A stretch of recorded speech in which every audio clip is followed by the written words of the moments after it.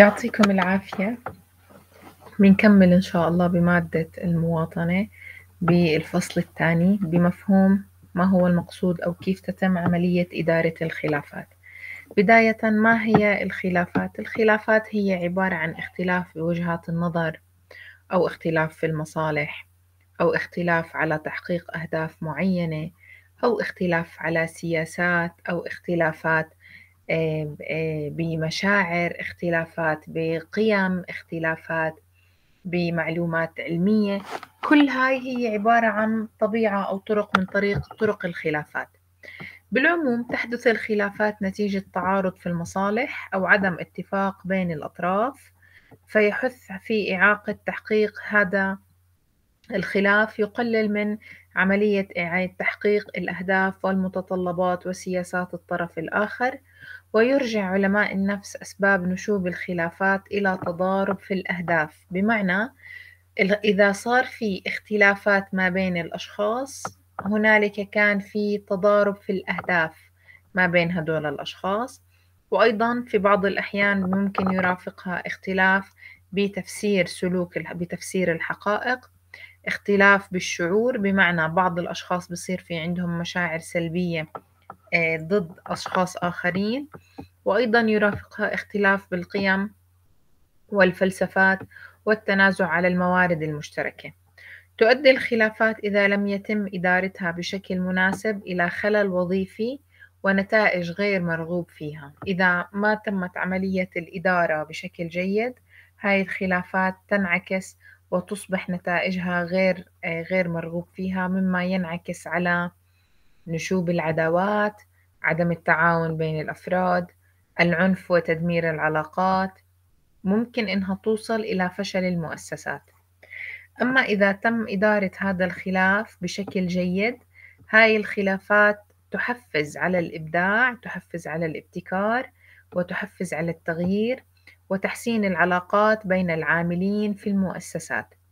أما اختلاء الخلافات تماما من المؤسسة فإنه يدل على الركود وعدم الاستجابة للتغيير واللامبالاة يصنف الأفراد حسب تفاعلهم مع الخلاف إلى خمس أصناف. الصنف الأول هو صنف سلوكه يشبه سلوك سمك القرش بمعنى أنه هذا الصنف أو هذا الشخص يسلك سلوك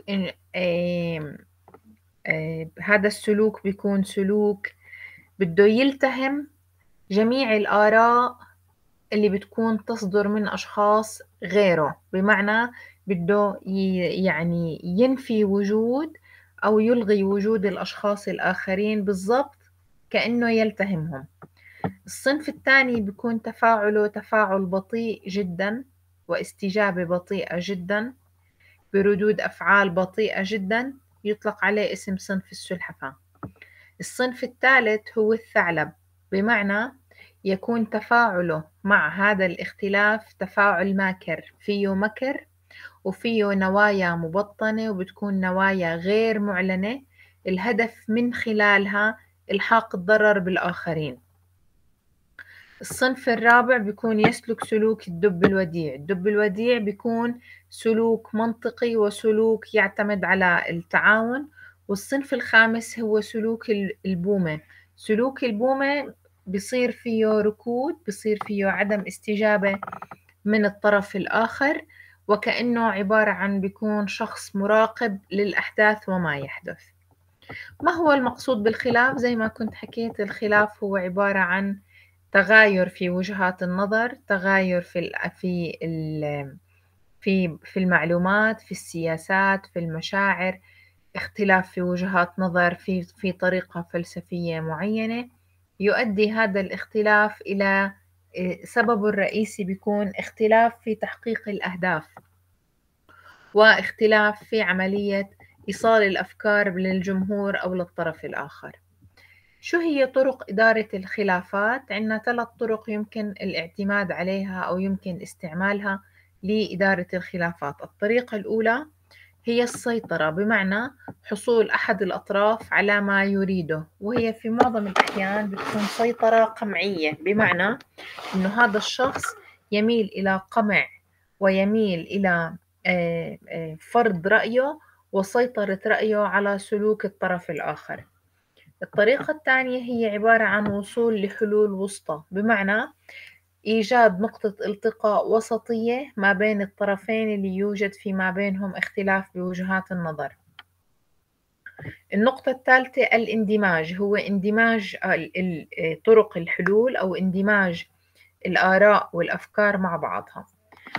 أما بالنسبة للأسباب الرئيسية لنشوء الخلافات أول مشكلة هي عبارة عن مشكلة التواصل بحيث ممكن تكون مشكلة التواصل إنه أحد الأفراد هو شخص عديم التواصل أو قليل التواصل مع الطرف الآخر مما يؤدي لما بيكون هذا الشخص تواصله قليل أو ذو طريقة تواصل آه، ما بتكون ذات كفاءة جيدة يؤدي إلى نشوء الخلافات لأنه الشخص لما بيكون مقل في كلامه مما يؤدي إلى عدم إيصال الأفكار المطلوبة أو وجهة نظره الصحيحة للطرف الآخر مما يؤدي إلى مش بس فقط نشوء الخلافات بمعظم الأحيان تفاقم هاي الخلافات. السبب الثاني هو عبارة عن الهيكل المؤسسي بمعنى كل مؤسسة يوجد فيها أو يعني تتكون من سلم وظيفي ومن سلم هيكلي تسلسلي. ممكن تحدث هاي الخلافات إذا الشخص تجاوز السلم أو الهيكل المؤسسي ووصل لشخص أعلى منه بطريقة غير رسمية. النقطة الثالثة هي عملية الاختلافات الشخصية. الاختلافات الشخصية وما يتبعها من اختلافات في السلوك من اختلافات في وجهات النظر من اختلافات في طريقة تفكير الأفراد مما يؤدي إلى نشوء الخلافات بين الأفراد. ما هي استراتيجيات إدارة الخلاف؟ بداية أولا تحرير الخلاف. بمعنى تفريغ الخلاف عن طريق كتابة الأسباب المهمة للخلاف وترك الأمور الجانبية ويتم خلال هذه الطريقة امتصاص للغضب وتهدئة الأوضاع بين الطرفين. الطريقة الثانية استراتيجية مقاومة سيكولوجية كلا. بمعنى استبدالها بسيكولوجية نعم عن طريق طرح أسئلة إجابتها نعم وبذلك تخفيف سيكولوجية كلا فعندما يقرر الفرد أو يكرر الفرد نعم يصل إلى مرحلة يقبل فيها الشيء الذي كان يقول عنه كلمة لا. ثلاثة استراتيجية المستقبل. بمعنى لا تتكلم عن سلبيات الماضي بل حولها إلى طلبات. أربعة استراتيجية الابتعاد عن لغة العداوات. هي لغة بمثل هي لغة الأوامر مثل لغة القضاة والمحامين والشرطة فالتأثير في الفرد بواسطة الأدب يكون أكبر من التأثير بواسطة العنف والأوامر. خمسة استراتيجية كسر الخلاف. أي حصر الإيجابيات والسلبيات معا؟ بدلا من وضع الخلاف والأمور السلبية نصب أعيننا ونتناسى بقية الأمور. وجدت الدراسات بأنه للتغلب على أي انفعال من انفعالات الغضب وانفعالات والإهانة هي السكوت بداية لأنه يمتص الغضب ثم مناقشة أسباب الخلاف جميعها بكل هدوء وبكل أريحية. يعطيكم العافية.